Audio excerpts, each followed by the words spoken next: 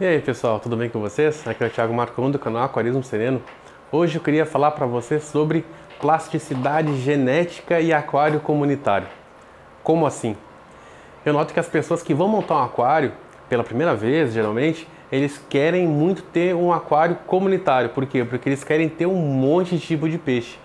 Só que eles querem tantos tipos diferentes de peixe que eles ficam perdidos e muitas vezes fazem, fazem bagunça mesmo, colocam peixe de pHs muito diferentes, temperaturas muito diferentes, de comportamentos muito diferentes e acaba que não dá certo e esse aquarista fica frustrado e talvez até abandone o hobby, infelizmente.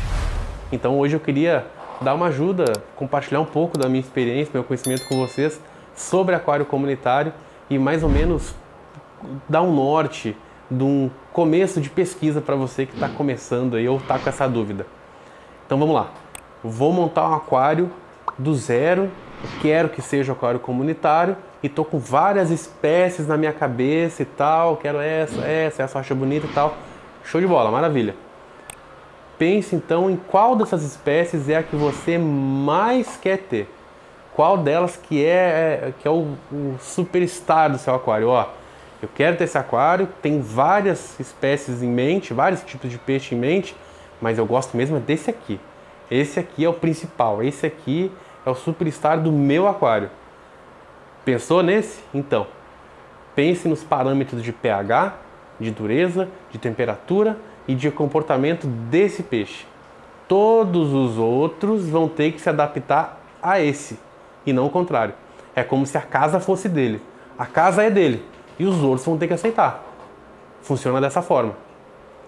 Por exemplo, aqui. Aqui, o superstar do aquário é o acaradisco, embora ele tenha entrado praticamente por último. Mas tudo foi pensado nele, no acaradisco. E os outros vieram a reboque, os outros vieram para formar a comunidade desse aquário comunitário. Por isso que até daria para ter, mas por isso que eu não tenho um King aqui. Embora eu ache o King muito bonito. Calda de véu, muito bonito. Oranda, muito lindo. Eu tive Oranda, maravilhoso. Pangáceos, gosto muito do Pangáceos. Não dá por vários motivos aqui. E não vai fechar com o Superstar, que é esse aqui. Que é o cara disco. Então o foco é ele. No caso do meu aquário. No de vocês qual é? É Guppy? É King?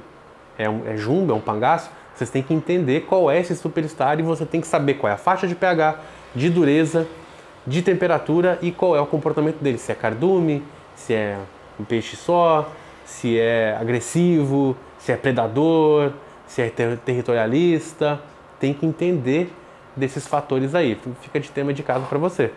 Esse é o que é legal do aquarismo. Se você não quer pesquisar, se você acha que não é bacana ficar buscando, você pode buscar auxílio com um lojista que tenha conhecimento, de preferência lojas menores, onde o, o dono também atende. Geralmente esse cara aí tem décadas de experiência e vai poder ajudar vocês.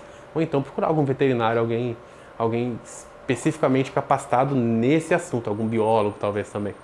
Mas tem de saber essas informações, não dá para escapar. Tendo isso em mente, já sabe os parâmetros mínimo máximo de pH, GH, dureza, temperatura e sabe os comportamentos dele, aí dá para montar o resto. Dá para montar o resto. Se esse peixe por exemplo, for, ma for menor, for um peixe pequeno, não dá para ter peixes maiores e que sejam predadores. Porque um peixe predador vai predar os menores. O que couber na boca dele, ele vai comer. E ponto final, se ele for predador. Né? Ou se for um peixe agressivo, tamanho parecido, igual, ou que não seja que não seja tão, tão maior que ele, ele vai atacar. Menor então não se fala, né? Mas igual ou ligeiramente menor, perdão, menor igual ou ligeiramente maior, ele vai atacar.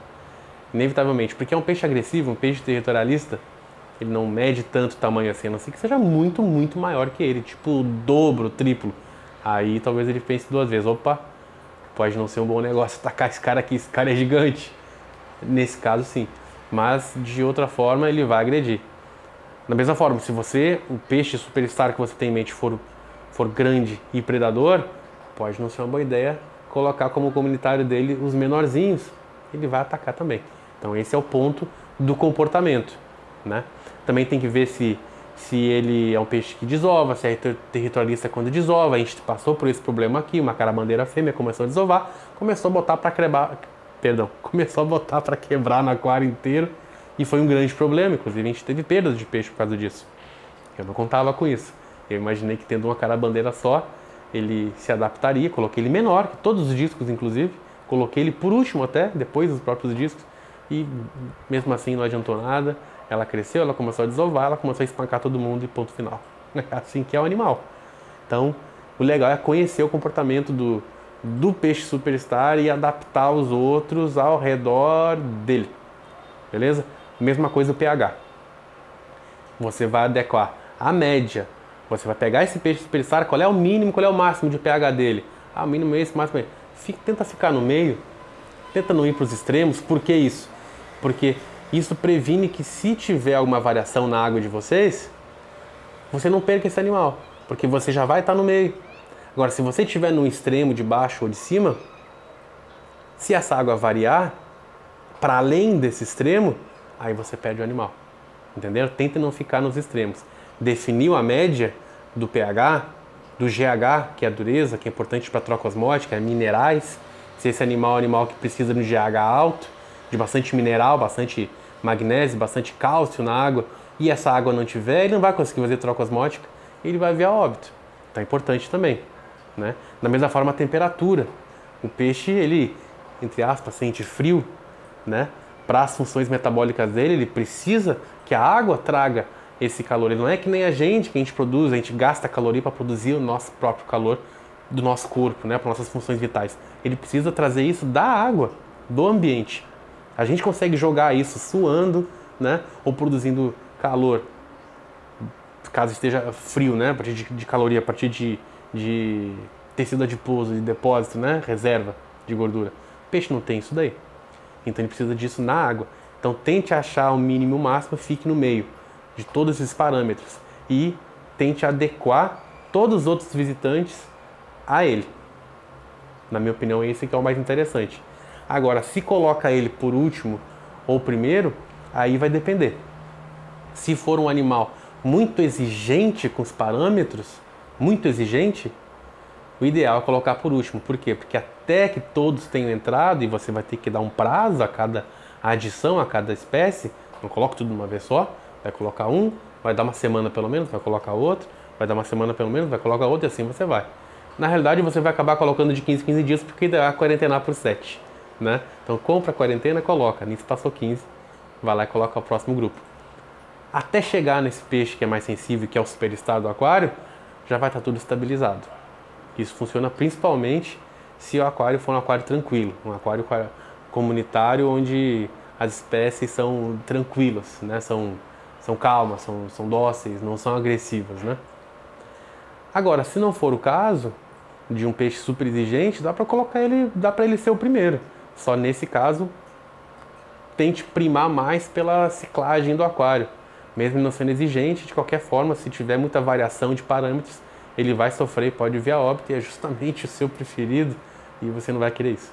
Então tente primar pela ciclagem correta, adequada, no tempo certo, fazendo as medições de amônio, nitrito, nitrato, tudo zerando, tudo bonitinho. nitrato não precisa zerar, mas enfim, baixo, né? E meça, meça o nitrato, que é importante a médio prazo pode prejudicar seu animal também. Se você tiver um peixe que duraria anos, ele pode durar bem menos, né, por causa do nitrato. E é isso, pessoal. O assunto aquário comunitário. Eu noto que o pessoal tem muita dúvida aí e simplesmente joga tudo de uma vez só dentro do aquário e não é bem assim. Tem que fazer um planejamentozinho, como quase tudo na vida. A gente planeja para ter maior chance de sucesso e não é diferente com o aquário comunitário. Qualquer dúvida, deixe nos comentários, vou ter o maior prazer de responder. Se gostaram do vídeo, curtam, compartilhem. Quem não é inscrito, se inscreve agora. Esse é o momento. Agradeço vocês por ficarem até o final e até o próximo vídeo. Grande abraço. Até mais.